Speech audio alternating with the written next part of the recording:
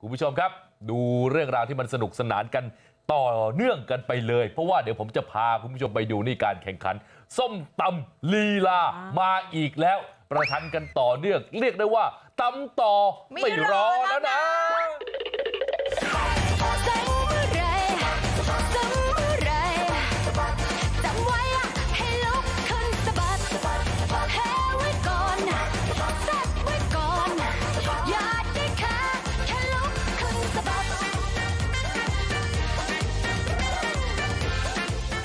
เอาจริงๆนะโอ้ยผมว่านะยังไงอะคุณงานนี้เขาเน้นที่เต้นแหละคงไม่ได้เน้นส้มตำหรอกเขาเน้นรสชาติของส้มตำด้วยโอ้โหลีลาด้วยท่าเต้นด้วยชุดด้วยเครื่องแต่งกายความสะอาดทุกอย่างโอ้แต่ดูสิครับเต้นกันตั้งแต่เริ่มงานยันปิดงานนะครับเต้นกันตั้งแต่สว่างจนมืดอะไม่รู้ใส่ถาดกี่ก้อนโอ้โหเต้นได้ทั้งวันทั้งคืนจริง ๆ นี่ครับเป็นงานประกวดส้มตำลีลาสะบัดเอวแซ่บๆของน้องๆ คณะเทคโนโลยีมหาวิทยาลัย มหาสารคามค่ะที่มหาสารคามนี่แหละครับเขาจัดขึ้นเพื่อเป็นการส่งเสริมเออสืบสารเออจังหวะนี้ได้จริงๆเขาเป็นการสืบสารศิลปะวัฒนธรรมอาหารอีสานค่ะจ้าเขาบอกว่าส้มตำเนี่ยเป็นอาหารประจำพื้นเมืองของชาวอีสานเขาอะนะครับแน่นอนและยังเป็นอาหารประจำชาติด้วย เพราะว่าทั่วทุกภาคของไทยต้องมีกินส้มตำหมดครับได้แล้วอ้าว แล้วก็ถือว่าเป็นอีกหนึ่งโอกาสที่เปิดให้กับประชาชนแล้วก็นิสิตนักเรียนนักศึกษาเขาได้มีเวทีในการแสดงความสามารถด้านต่างๆโดยเฉพาะการเต้นนี่แหละครับค่ะโอ้ชอบนะเออน้องใครอะที่ชอบเต้นก็แต่ละคนอะมาเออจัดเลยในเวทีนี้โอ้ยโอ้ยโอ้ยโอ้ยโอ้ยโอ้ยสงสารเอวมากเลยครับสงสารเวทีค่ะดิฉันน่ะอ้าวนี่กองเชียร์ค่ะเออคณะกรรมการนี่นั่งขำกิ้งขำกากรอจะชิมส้มตำอยู่เอ้าคุณผู้ชมครับการประกวดเนี่ยนะฮะมีทั้งหมด 6ทีมครับจ้าต่างก็มีทีเด็ดกันนะออกมาโชว์ลีลาความสามารถในการตำส้มตำแล้วก็มีลีลาเรียกเสียงหัวเราะความสนุกแล้วที่สำคัญเขาก็คิดเป็นคะแนนด้วยอ่าเสร็จปั๊บ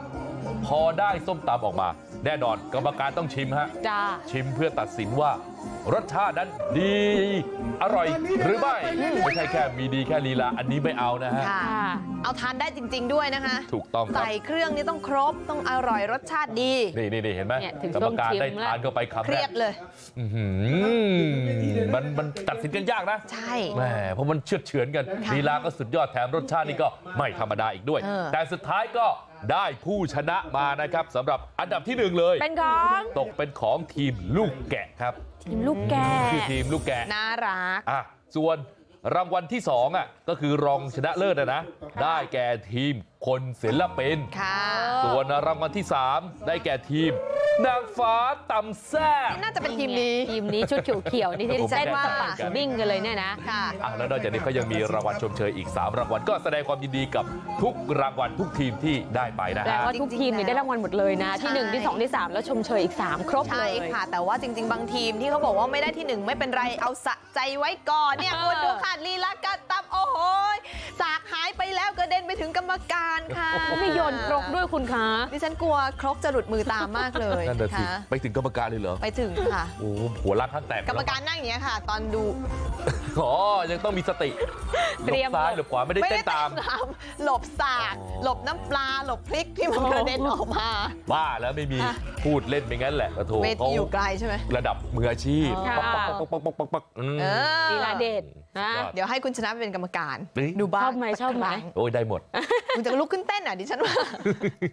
คุณจะไม่รอแล้วอะนะเออแต่จะเป็นเต้นไปประกวดเดี๋ยวดิฉันประกวดนะอ่าคุณเป็นกรรมการคุณต้องชิมอาหารที่ดิฉันทโอ้โหได้ไหมำนะ คุณชนะนะมันหนักใจตรงนี้แหละ